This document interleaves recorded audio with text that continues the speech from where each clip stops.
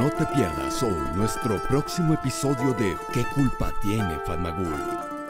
No te asustes, no voy a hacerte daño. ¿Por qué viniste? ¿Qué? ¡Mustafa está aquí! ¡Corre! Por favor, dé la vuelta. Tengo que ir a casa. ¿Qué pasa, querido? Mi esposa está en peligro. Llamó Fanmagul, ¿verdad? Le conté solo lo que debía saber, en especial sobre la culpa que tuvo Melten. ¿Qué culpa tiene Fatmagul? Esta tarde, solo por Canal de Drama.